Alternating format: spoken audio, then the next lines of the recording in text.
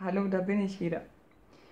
Heute geht es um zwei Sachen. Es geht um Zeit und es geht um Geld.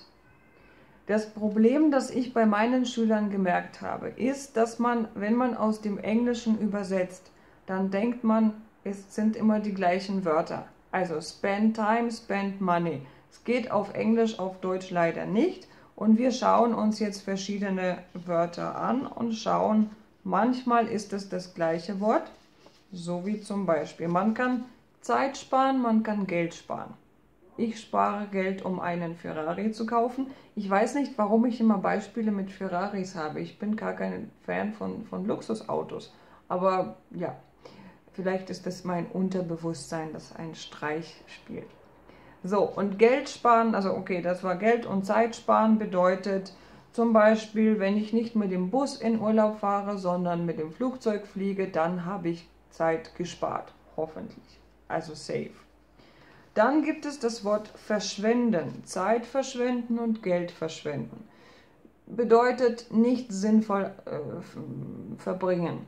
Also Zeit verschwenden ist, ähm, ich wollte, was wollte ich machen? Ich wollte Videos für euch aufnehmen, aber stattdessen habe ich ähm, mein Handy genommen und dann habe ich Videos auf YouTube angeschaut von verschiedenen Leuten und habe eigentlich nichts Sinnvolles gemacht. Das bedeutet, ich habe die Zeit verschwendet. Und Geld verschwenden, okay, das kennen wir alle gut.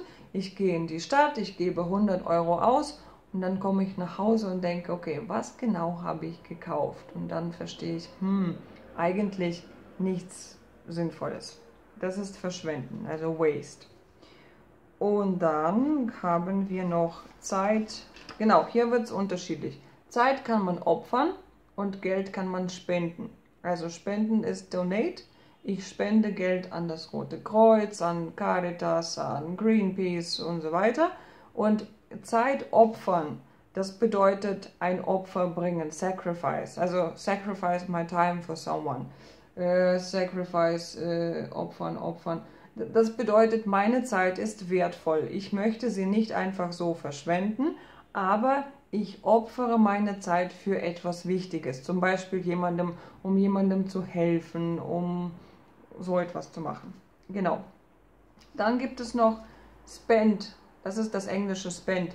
Zeit verbringen und Geld ausgeben. Das ist der ganz, ganz typische Fehler immer äh, die Leute sagen, äh, Geld, äh, Moment, Geld verbringen oder Zeit ausgeben. Also ich kann keine Zeit ausgeben, ausgeben kann ich nur Geld.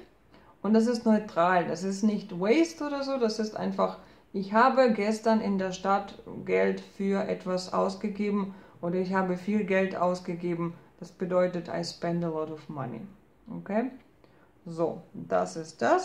Und dann gibt es das Wort spendieren, das hatte ich schon in einem anderen Beispiel. Spendieren ist äh, jemandem etwas ausgeben, für jemanden bezahlen.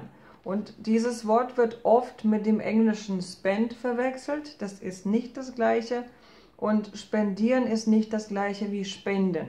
Also spenden bedeutet für einen guten Zweck Geld geben. Zum Beispiel Rotes Kreuz, Caritas und so weiter.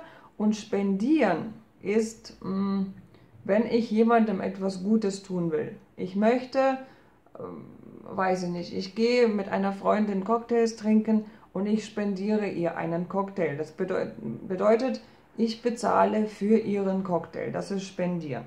Okay? Oder ich kann zu meiner Tochter sagen, okay, du warst heute brav, ich spendiere dir ein Eis. Das bedeutet, ich kaufe dir ein Eis.